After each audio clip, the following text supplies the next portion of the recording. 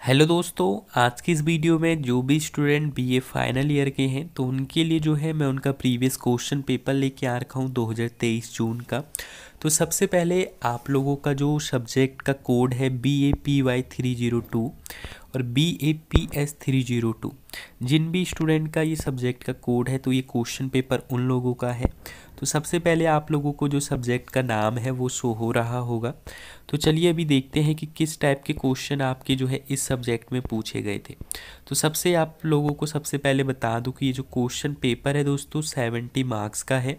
और जो ये सेवेंटी मार्क्स का क्वेश्चन पेपर है, इसको टू पार्ट्स में डिवाइड किया गया है सेक्शन ए और बी तो ए में जो है आप लोगों से जो है पाँच क्वेश्चन पूछे गए हैं, जिसमें से सिर्फ़ आप लोगों को जो है दो क्वेश्चन का ही आंसर करना है और यहाँ पे जो एक क्वेश्चन है आप लोगों का, वो है नाइनटीन मार्क्स का।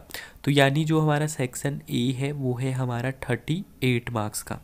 तो दोस्तों, यहाँ पे जो आपको ये पाँच क्वेश्चन शो हो रहे हैं तो कोशिश करना है आप लोगों को कि इन पाँचों क्वेश्चंस के जो आंसर है, वो एक बार आप लोग देखें। क्योंकि अगर आप इन क्वेश्चंस के आंसर देखते हैं तो यहाँ से एक क्वेश्चन तो ज़रूर आपके एग्ज़ाम में रिपीट होगा। तो अगर एक क्वेश्चन भी रिपीट होता है तो आप लोगों के 19 मार्क्स यहाँ से कंफर्म हो जाएँगे। उसके बाद आ जाता है हमारा सेक्शन बी तो सेक्शन बी में दोस्तों, आप लोगों से जो है एट क्वेश्चन पूछे गए हैं एग्ज़ाम में।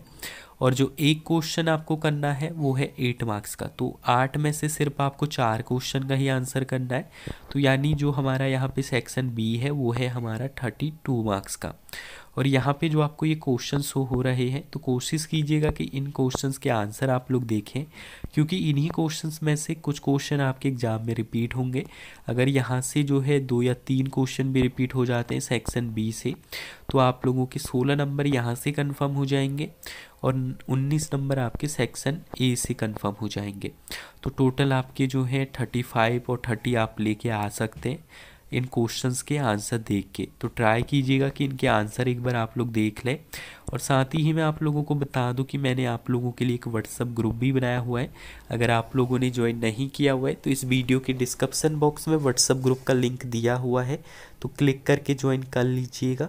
और अगर आपको ये वीडियो हेल्पफुल लगी हो तो वीडियो को लाइक और चैनल को सब्सक्राइब भी कर लीजिएगा।